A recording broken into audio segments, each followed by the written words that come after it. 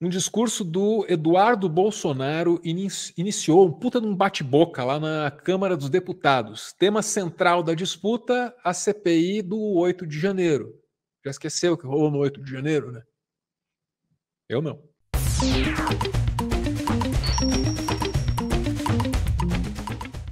Não, vamos ser justos. Talvez você lembre do que aconteceu no 8 de janeiro. Lembra? Depredaram a sede dos três poderes, ou as sedes dos três poderes do seu país, cara. É mole? Aconteceu, cara. E eu tava, eu tava com um bom amigo aqui em casa, ele falou: Álvaro, infelizmente o impacto disso tende a não ser tão grande porque a gente não sacraliza nossas instituições o suficiente, né? Então, haveria uma diferença entre a maneira como um americano médio, um gringo médio, enxerga o Capitólio como a gente enxerga a nossa arquitetura, né? Vamos em frente. O Eduardo Bolsonaro na Câmara falando sobre a CPI que poderia investigar esse dia. Não está roubando, está mentindo. Né? Antes das eleições, a gente viu aqui é, uma crítica muito forte ao chamado orçamento secreto. As emendas RP 9, tecnicamente aqui da nossa casa chamar emendas de relator. Na prática, o que, que isso significa? Obrigado, Jair. Na prática, o que, que isso significa? Significa que agora, ao invés de um relator, deputado federal dessa casa, relator do orçamento, prezado Luiz Lima, ao invés de ele determinar como é que vão ser feitas as emendas, agora esse dinheiro está todo dentro do ministério. É por isso que quando a gente posta nas nossas redes sociais a notícia de hoje, que é, abre aspas para o antagonista, deputado diz que governo Lula ofereceu 60 milhões para parlamentares esvaziarem a CPMI, a CPMI de 8 de janeiro. Esse dinheiro aqui é o dinheiro do Ministério do Lula, feito para comprar parlamentares. Né? Isso não é novidade para ninguém, para quem fez mensalão, para quem fez petrolão, coisa muito pior. Isso aqui, né, o pessoal do PT deve estar achando até que é tranquilo.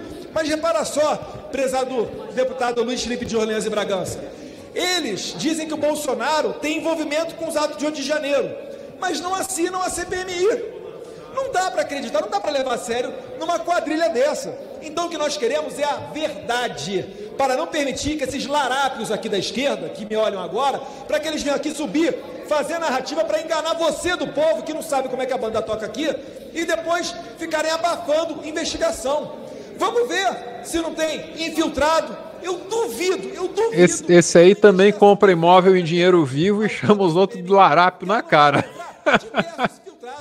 Certamente o PT está querendo esconder os seus apadrinhados que colocou lá para incentivar esses atos. Não tenha dúvida disso. Tal qual, encaminhando para o final, ocorreu lá nos Estados Unidos, deputado Abílio. Lá nos Estados Unidos, eles marretaram em cima do 6 de janeiro. Somente agora, com o novo presidente da Câmara, Silva, lá nos Estados Unidos, câmeras de gravação da Câmara dos Deputados americana, imagens estão vindo à tona, mostrando que a polícia jogou gás lacrimogênio antes em cima da própria polícia, mostrando outras imagens que certamente aqui no Brasil estão sob sigilo, como as imagens, né, as câmeras do Palácio do Planalto, que está sob sigilo. Né? E só vieram à tona aqui no Brasil aquelas imagens daquele rapaz, muito estranhamente, com uma camisa do Bolsonaro, jogando um relógio no chão, depois tentando destruir a câmera. Bom, o Eduardo Bolsonaro, eh, ele tem informações completamente equivocadas, né? Jamais confirmadas sobre estes episódios. Mas aqui a gente também vai dar um crédito para ele. Às vezes o, a culpa é da assessoria. Essa tua assessoria é uma assessoria de cocô, pode acreditar. Por quê? Porque é uma imagem selecionada que serve ao PT, por isso que veio à tona. As demais, se Deus quiser, deputado André, e a gente vai ter que botar pressão no presidente do Senado, Rodrigo Pacheco, para que ele cumpra não só o regimento dessa casa, que fala em abertura automática da CPMI, mas também automaticamente pelo STF, que disse na CPI da Covid que CPMI é um direito da minoria e deveria ser aberto. Muito obrigado, senhor presidente. Presidente, por okay, favor, deputado... por favor, presidente, pela ordem. É, o regimento interno desta casa é. É, e o presidente Arthur Lira, reiteradas vezes, já aqui fez esse apelo não acolhe expressões como os deputados. Okay. Qual a expressão? Genocida? Genocida. Eu não sou larato, deputado. Eu não sou leite. Senhor deputado, vamos, vamos ter, vamos ter paciência. Ai, meu ouvido! Não vamos, vamos... lá Vamos nos respeitar. 60 milhões. Respeita a Faria Lima, vai ser a sua.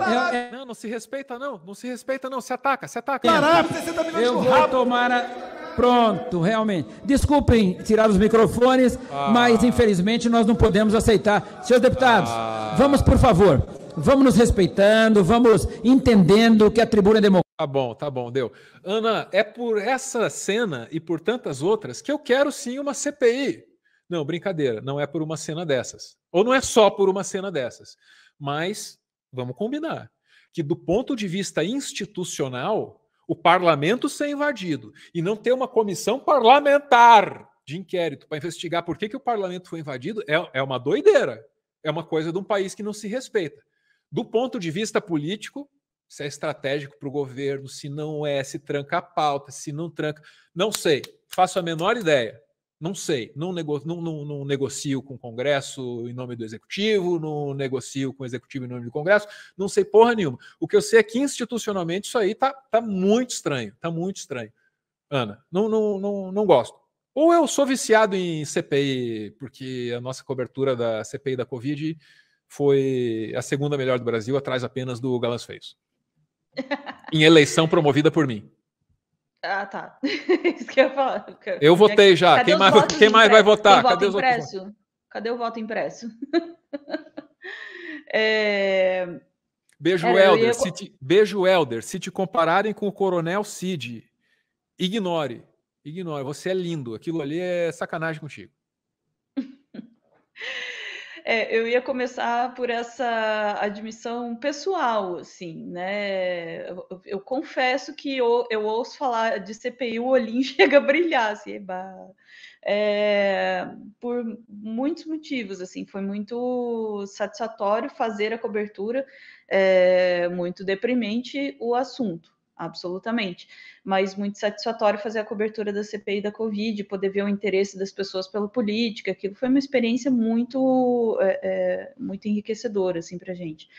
É, agora, e, e daí pensando também, né, num, num, aspecto do que significa mesmo, assim, para o país, eu imaginaria que uma CPI seria algo desejável, né? Investigar e ver as pessoas que, que cometeram as atrocidades do dia 8 investigadas e punidas, somos a favor. Quando. É, é, aí tem duas coisas que me, me freiam um pouco esse, esse ímpeto e esse desejo aí, absolutamente pessoal de ver uma CPI acontecer. É, a, a, primeira, quando, quando a base do, do, do, governo Lula começa a dizer, não, pera, calma, né? Isso me acende uma luz de alerta. Falou, não, pera, por quê? Né? Eles não estariam interessados em abrir essa, essa CPI. E a outra é quando quando o próprio. É, eu gosto muito. Análise de discurso é uma delícia, né?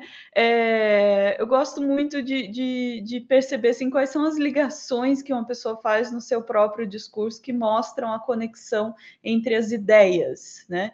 E no caso do, do Eduardo Bolsonaro, veja que ele interliga duas coisas: é, a, a defesa da abertura da CPI com a, a palavra infiltrados. É, é, e aí a gente retorna para o desejo da, da, base do governo é, em não abrir essa CPI, é, o que tem sido largamente interpretado como uma decisão estratégica, né?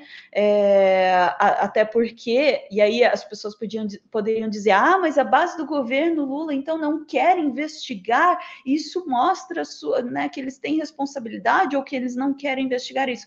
Veja, é, o, que, o que se contrapõe a isso é o fato de haver investigação a respeito do dia 8. Ela não está acontecendo na forma de uma CPI. Então, é diferente de dizer a base do governo Lula está abafando o caso do dia 8. Não está nem um pouquinho. Né? É, e a gente viu e está vendo isso acontecer. Então, isso não se sustenta. Agora, é, o motivo dessa, desse receio em abrir uma CPI pode ser por uma coisa mais simples, né? Como dizer, ah, vai trancar a pauta e não, não, pode, não deve ser bom para o né, momento no país, tem outras coisas para a gente fazer, em vez de ficar girando meses em cima do, do 8 de janeiro. É, e pode ser simplesmente a percepção de que é cilada, Bino. Né? Eu, eu compreendo Quando... isso. Eu, eu compreendo que primeiro os caras fazem a baderna depois os caras fazem a baderna na investigação da baderna. Exatamente, Super eles já, tão, eles já estão denunciando isso no próprio discurso. Toda a vontade é ficar o dia inteiro dizendo: não, isso aí foi feito por infiltrados, ai, foi o Black Bloc, não é. sei o quê. Ah, eu, tá eu entendo, eu entendo, mas também entendo que se o, par, se o parlamento tem condição de fazer um inquérito, o parlamento deve fazer um inquérito quando a porra do parlamento é invadido. Para mim, isso é lógico. Não, é, não, né? Tá então, sei lá, sei lá, pesa aí na, na balança. Não, fica, né? fica, um, fica um gosto. De qualquer forma, eu acho que a, a conclusão é essa. Fica de toda maneira um gosto ruim, porque aí é, é, o governo é obrigado a lutar contra uma CPI com receio dessa CPI ser usada para causar essa mais. Essa é boa, essa é boa. Né? Lá, lá, lá. CPI, CPI não leva a punição dos culpados, só serve para o YouTube monetizar. Porra, deixa eu, deixa eu, te dizer o seguinte: eu posso dizer o que eu quiser, você, você tem todo o direito de não acreditar. Né? Você fala, o cara, o cara só quer CPI para ganhar dinheiro. Se você quiser pensar assim, eu não, não, não vou conseguir fazer você mudar de ideia. Mas você não imagina, cara, você me lembrou de uma coisa agora, que a gente retransmitia aqui a CPI pela TV Senado, que é pública, né, Ana? E as emissoras privadas levavam embora, cara. Elas vinham aqui e falavam: esse conteúdo é meu. E daí a gente tinha que conversar todo com o YouTube, procurar a gente todo dia, né, Ana? Para falar: pô, isso aqui todo, não pertence à emissora X. Dia. Isso não pertence à emissora Y. Você via anúncio então, você nem imagina as dificuldades, a CPI? Cara. Você via anúncio? Sabe para quem ia esse, o dinheiro desse anúncio? Não é Muitas dica, vezes aconteceu isso. Né? Era para as empresas que, enfim, é, é, é, muito comum isso no YouTube, sabe? É, mas é isso. não sei, eu fico cá comigo pensando assim, meu jeitinho poliana de ser, ah, não, mas não dava para arquitetar aí uma CPI em que não desse muito espaço para essa galera fazer o caos todo que eles fazem.